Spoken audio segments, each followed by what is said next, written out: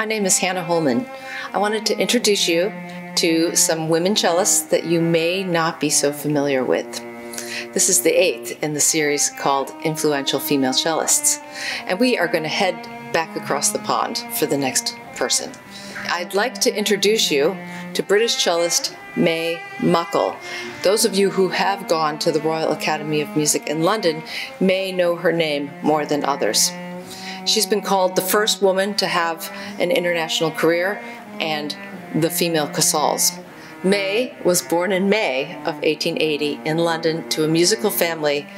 Her father, Leopold, was a very famous organ builder, and in fact, he is credited with creating the first coin slot mechanical music machine, the precursor to the jukebox. May was the youngest of nine children, some of whom didn't survive past their first few years.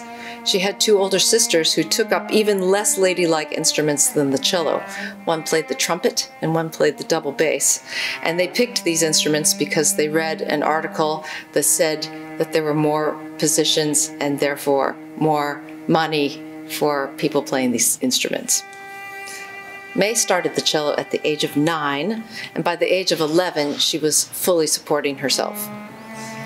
She entered the Royal Academy of Music at the age of 13 in 1893 and graduated in four years when she was 17, having won every possible prize for the cello.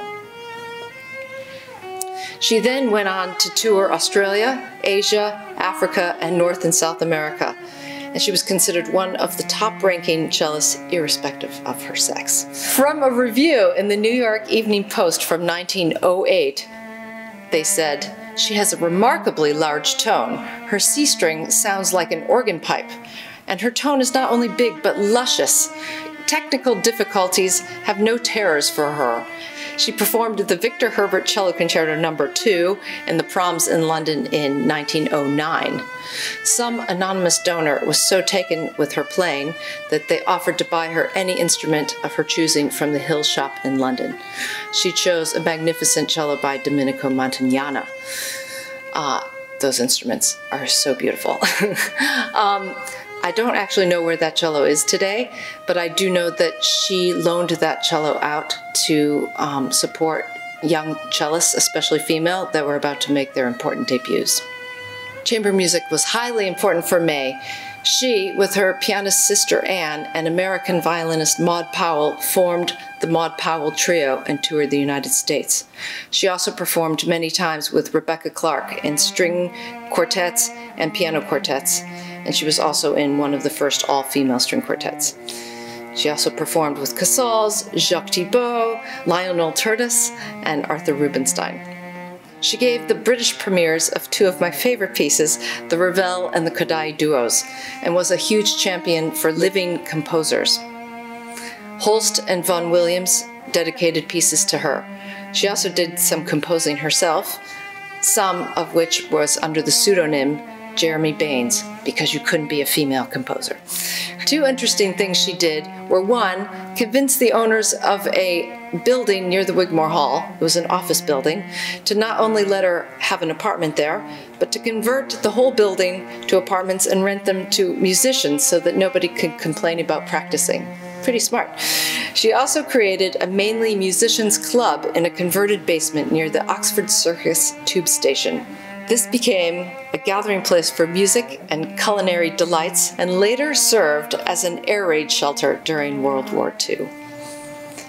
Injured in a car accident while on tour in Africa, she didn't let that slow her down. In fact, she was still doing barnstorming concerts where she would just go to a barn or a church and Xerox her programs and pass, pass the hat at the end of the concert.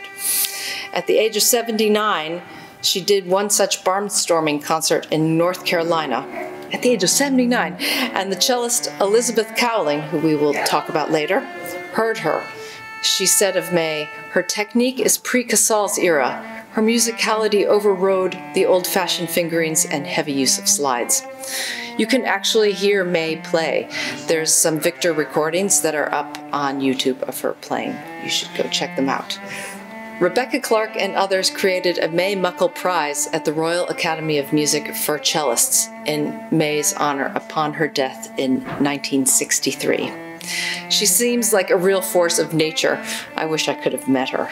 Until next time, thank you so much for joining me in this journey of learning about women cellists from the past. I love hearing from you, so please feel free to leave a comment below or reach out to me on my website at hannahholmancello.com.